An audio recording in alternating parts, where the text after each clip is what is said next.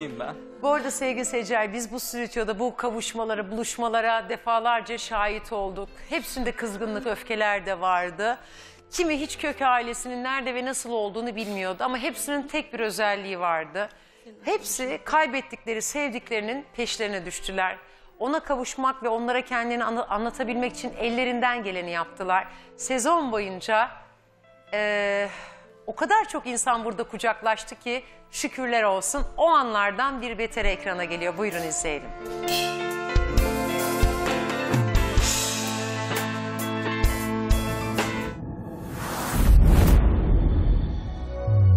Hayatta çözülmez sandığınız her sorunun aslında bir çözümü var. Bakalım bugün bu programdan kimler böyle umutla, sevinçle ve huzurla ayrılacak?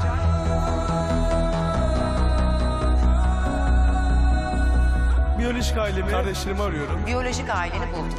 O 18 yıllık hasreti bir dindirelim.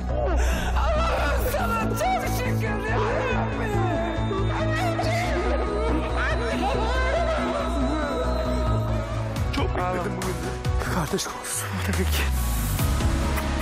Kadir'cim babanı da bulduk. Çok teşekkür ederim Esra abla. Olacağını biliyordum.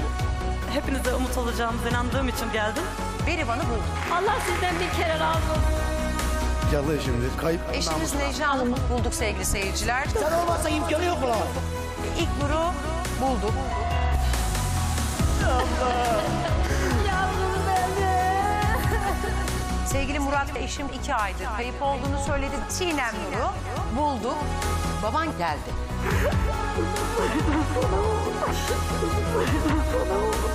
Kendinizi yalnız hissetmeyin. Kurtulmak isteyenler. Biz elimizi uzatıyoruz, tutmak isteyenlere. Allah razı olsun bir kere. Sarılıyoruz böyle kocaman. Allah sizden bir kere razı olsun. Buldun bize kavuşturdun. Allah ne muradın varsa versin inşallah. Her zaman mutlu. Hiç mutluluğun eksik Önce Allah olmaz. sana sonra size Hiç mutluluğun eksik olmaz. çıkaramayacağım. Çoluğuna çocuğuna. Nefes aldıkça umut hep var sözü tam da bu yani. 35 yıl sonra ilk kez annesiyle kavuşuyor. Sadece çıkıp gelip bana sarılıp öpmesini istedim. Müthiş de bir an. Ve bu anı yaşamak çok istemiştim.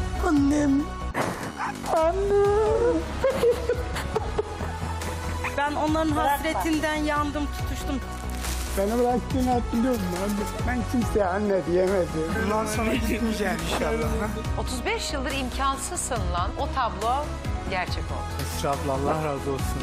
İyi ki varsınız.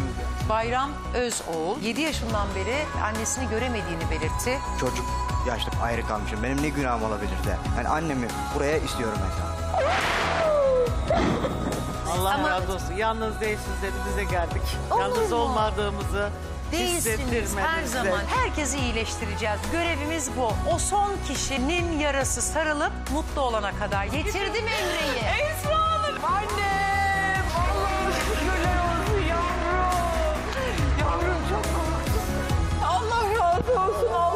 Rast getirsin. Hep dedim biliyor musun? Esra Hanım bulacağız. Bunlar hiçbir haber alamıyorum. 50 gün oldu. 50 gün yalvarıyorum. Ee, Türkan abla kızını bulduk.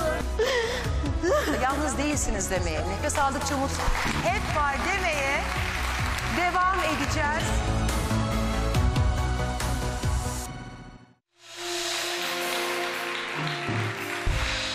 Allah nasip ederse yeni sezonda da yalnız değilsiniz demeye, nefes aldıkça umut hep var demeye devam edeceğiz. Ama bir, bu sene e, sezonu bitiriyoruz ve kısa bir ara vereceğiz.